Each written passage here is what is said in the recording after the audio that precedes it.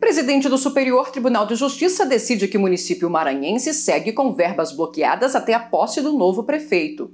O presidente do STJ, ministro Humberto Martins, negou o pedido do município de Formosa da Serra Negra, no Maranhão, para suspender o bloqueio das verbas lançadas em quatro contas públicas até o dia 1 de janeiro de 2021, quando toma posse o novo prefeito eleito Cirineu Costa, do Partido Progressista.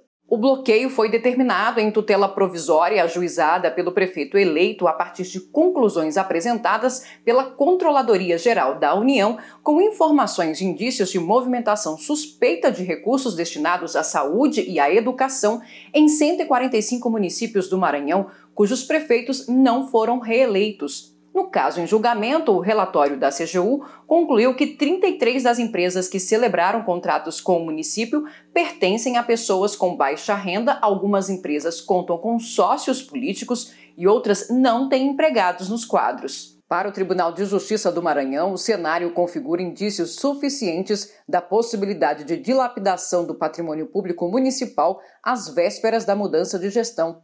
Por isso, foi determinado o bloqueio das contas. No STJ, o município de Formosa da Serra Negra pediu a suspensão da liminar. Alegou, entre outras coisas, que o bloqueio dos recursos impossibilitaria o pagamento dos servidores públicos e que não haveria qualquer comprovação de dilapidação dos recursos.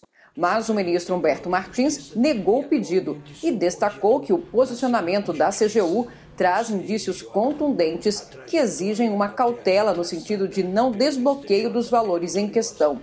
Com isso, seguem indisponíveis esses valores nos últimos dias do exercício do mandato, que se encerra este ano, conforme decisão liminar do Tribunal de Justiça do Maranhão.